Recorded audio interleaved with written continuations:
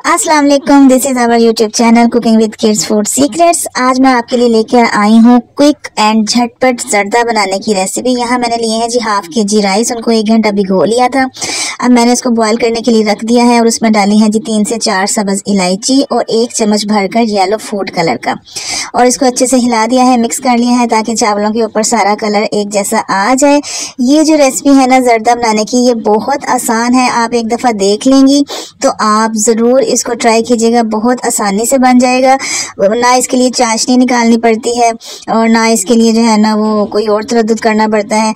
ये बहुत ही आसान रेसिपी है जो चाशनी के बगैर मैं आपको बताने वाली हूँ। झटपट आप खड़े खड़े इसको, बाकी काम आप कर रहे हैं किचन में। तो आप झट इसको आराम से बॉयल करने के लिए चावलों को रखें। आप बड़े आराम से इजीली इसको पका सकती हैं। ये जी एक कन्नी पे चावल अभी रह गए थे तो मैंने इसको स्ट्रेन कर लिया है। इनका पानी सारा ड्रेन करने के बाद उसी पैन में मैंने चावल डाल दिए हैं। और अब इसको दम लगाना है। मैंने आँच बिल्कुल मैंने दम वाली कर दी है।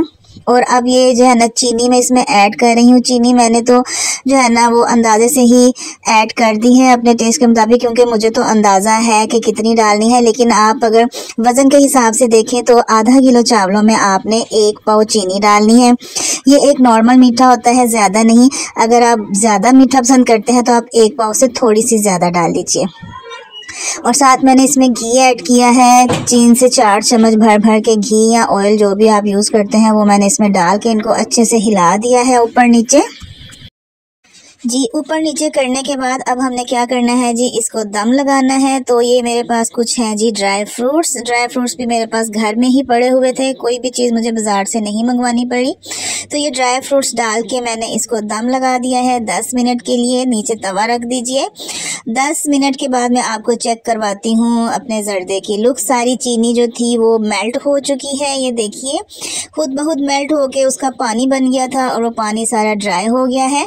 इसलिए चावलों को एक कन्नी या दो कन्नी पे रख कर आपने इसको चीनी डालनी है। ताकि चीनी भी पानी छोड़ती है तो वो उसमें एडजस्ट हो जाता है। ये देखिए, मैं आपको प्लेट में डाल के चेक करवाती हूँ। और ये नए चावलों का मैंने जर्दा बनाया है। और आपको पता है जो लेडीज़ एक्सपर्ट हैं, उनको पता है कि नए चावलों का जर्दा बनाना कितना मुश्किल काम है। ये नए चावल थे। इसका मैंने जर्दा बनाया है। देखिए कितना खिला खिला एक एक दाना है। और ये है जी मेरे पास छोटे छोटे से गुलाब जामुन। ये मैंने बाज़ार से मंगवाए हैं। तो मेरे बेटे ने फरमाइश की थी नकाश बिन अहमद ने कि मम्मा आपने जर्दा बनाना है और ऊपर जो है ना आपने गुलाब जामुन या रसगुल्ले भी डालने हैं। तो ये आ, साथ मैंने दो अदद अंडे बॉयल कर लिए थे और उनको मैं जो है ना बारीक बारीक काट रही हूँ। आप अपनी मर्ज़ी की चीज़ें गार्निश के लिए ऐड कर सकते हैं। आप इसमें वो पाइन ऐपल भी डाल सकते हैं। पाइन ऐपल भी बाज़ लोग डालते हैं जर्दे के ऊपर। बहुत अच्छा लगता है। बादाम डालिए, पिस्ता डालिए, अंडा डालिए, कुछ भी। झटपट रेसिपी है। आपने इसको ज़रूर ट्राई करना है और कमेंट्स में बताना है कि आपको ये जर्दे की रेसिपी कैसे लगी। पाँच से सात मिनट के अंदर अंदर ये जर्दा बन जाता है। कोई किस्म, किसी भी किस्म का तरद नहीं करना पड़ता। रेसिपी अच्छी लगी है तो शेयर कीजिएगा, हमारे चैनल को सब्सक्राइब कीजिएगा, दुआओं में याद रखिएगा।